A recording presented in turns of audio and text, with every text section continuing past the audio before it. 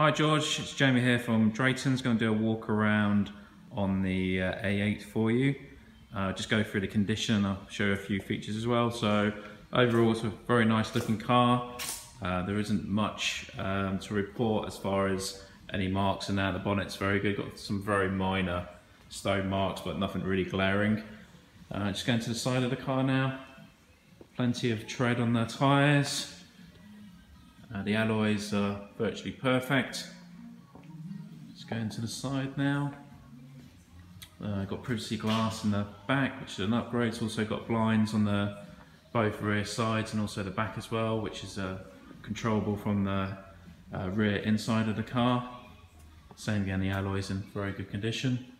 Just going around the side now. Obviously it's a, a long wheelbase. Automatic boot opening. Just come to the rear passenger now.